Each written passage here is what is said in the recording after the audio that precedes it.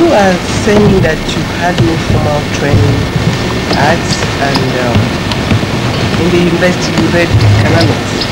Will you now attribute your going to the art as a natural call, a spiritual call? Yes, it's obvious and definitely a natural calling. It started by seeing myself as a clairvoyant for a period of uh, more than nine years. I worked in this very state trying to figure out exactly what area I was called.